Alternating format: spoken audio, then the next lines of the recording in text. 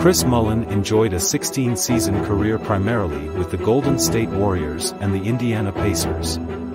Known for his scoring prowess, he averaged 18.2 points per game with a 51.6% field goal percentage and a 38.4% three-point shooting percentage. Mullin was a five-time NBA All-Star, a Hall of Famer, and part of the iconic Dream Team that won Olympic gold in 1992. His versatile skills and impact on the game make him a celebrated figure in basketball history.